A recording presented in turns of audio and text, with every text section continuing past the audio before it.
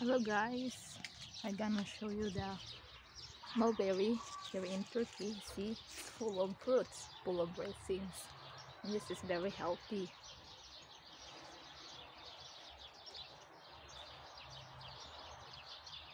See,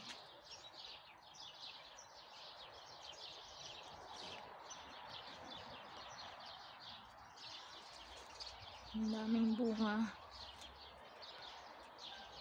Yan, masarap siya gawing jam. Tsaka, pwedeng gawin siyang wine for maminatamis. Lalo na pag lutong-luto na siya, hit- hinog na siya.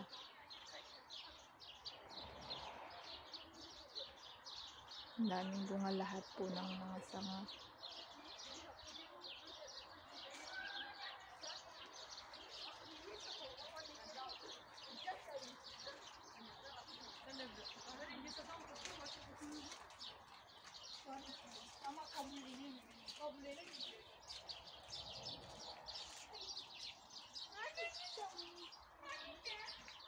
Yan siya, nakandahulog-hulog na po. Ang daming